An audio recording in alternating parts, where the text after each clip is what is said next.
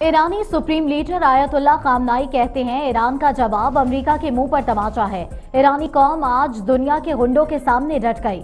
امریکہ کے خلاف اس سے بھی بڑے حملے کریں گے۔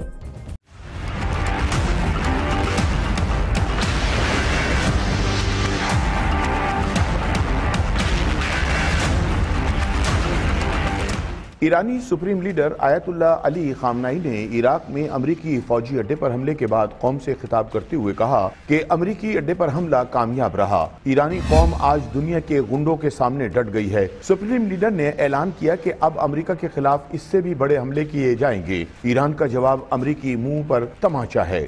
احزاب گوناگون و اسمهای مختلف و جناهای مختلف و اینا تو این عوالم نبود۔ اما تو عالم انقلابیگری چرا؟